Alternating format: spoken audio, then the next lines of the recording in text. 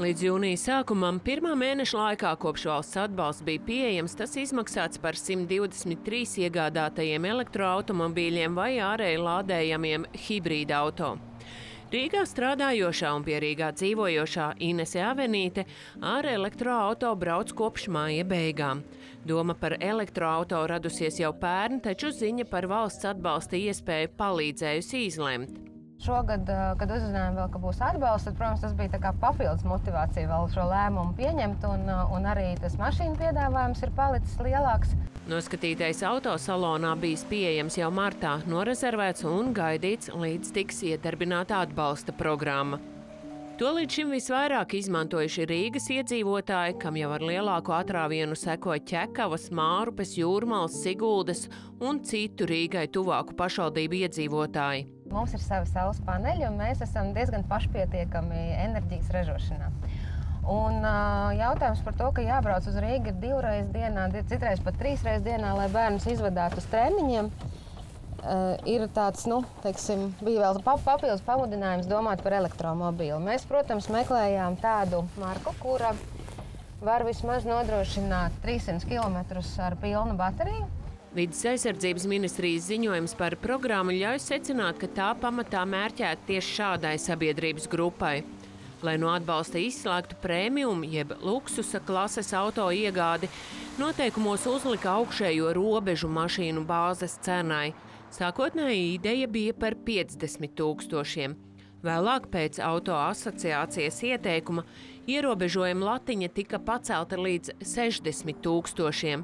Savukārt papildu aprīkojumu var izvēlēties pēc katra paša ieskatiem un iespējām, un tas var pārsniegt pat 10 tūkstošu eiro vērtību. Domāju, par to atbalstu priecājas visi. Ja? Vai tas ir izšķirošais pilnībā ja? pamudinājums? Ja? Iegādāties elektromobīļus. Tā atkal tad būtu pircēja izvērtēšana, bet noteikti mēs, mums ir informācija no iedzi, pircējiem, iedzīvotājiem, kur teikuši, ka tiešām viņi ir iegādājuši elektromobīļus pateicoties atbalstam.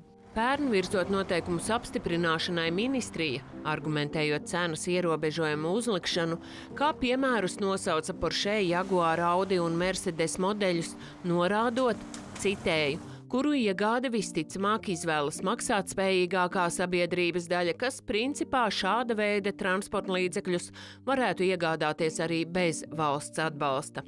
Tomēr vides investīciju fonda dati liecina, ka ar valsts atbalstu nopirkti gan divi Audi e-troni, gan trīs Teslas, un tieši šo auto bāzes cena ir virs sākotnēji plānotā 50 tūkstošu sliekšņa, bet ar papildu aprīkojumu un nodokli pat pārsniedz 80 tūkstošus. Kāpēc mēs mudinājām arī ministriju to uh, palielināt? Tāpēc, ka šis apjoma produkts eh, elektroautorāta ir dārgāks. Ar to jārēķinās, un vienkārši ražošanai ir dārgāks. Taču kopumā pirmie atbalsta mēneši parādījuši, ka vispopulārākās markas tomēr ir lētākās, kuru cenas svārstās no 14,5 līdz 35 tūkstošiem.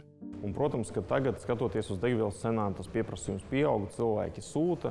Plus vēl skaidrs, ka vairāk vai mazāk klienti jau zina, ka automašīnas ir jāgaida dēļ komponentu krīzes, teiksim, ja, kur laik pa laikam tomēr pietrūkst. Atsevišķi modeļi šeit jāgaida 4 līdz 9 mēnešus. Auto asociācijā norāda, ir mašīnas, kas jāgaida pat gadu. Savukārt šajā programmā atvēlētos 10 miljonus būtu jāizlieto līdz nākamā gada beigām, iegādājoties ap 3000 auto. Taču jau tagad skaidrs, ka to nevarēs pagūt. Atbildīgās amatpersonas sola pagarināt programmas darbības laiku taču nesola to paplašināt, piemēram, izsniedzot atbalstu arī elektro vai parasto velosipēdu vai arī elektromopēdu iegādēji, kā to iepriekš ierosināja satiksmes ministrija, un kas ļautu sasniegt daudz plašāku mērķa auditoriju un cilvēku paradumu maiņu.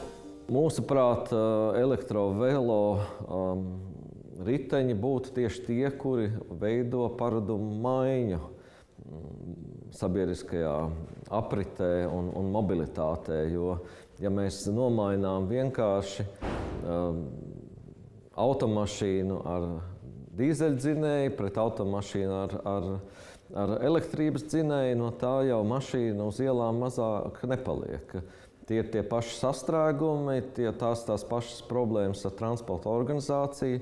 Nākotnē šādi jautājumi varbūt arī varētu tikt izskatīti. Es pieļauju, ka tas varētu būt uh, citas programmas ietvaros, jo šeit tiešām tas mūsu uzsvers ir vēlreiz es atkārtošos jā, uz, uz to, lai tas uh, pienesums uh, kopējo emisiju samazinājumam būtu pēc iespējas lielāks.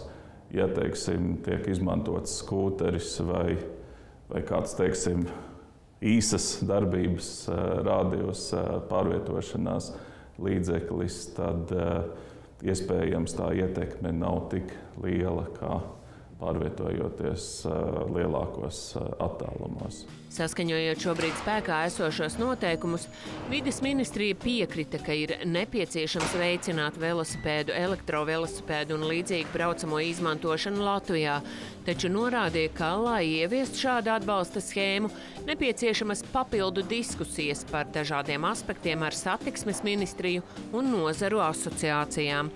Šādas diskusijas gan pagaidām nav sākušās.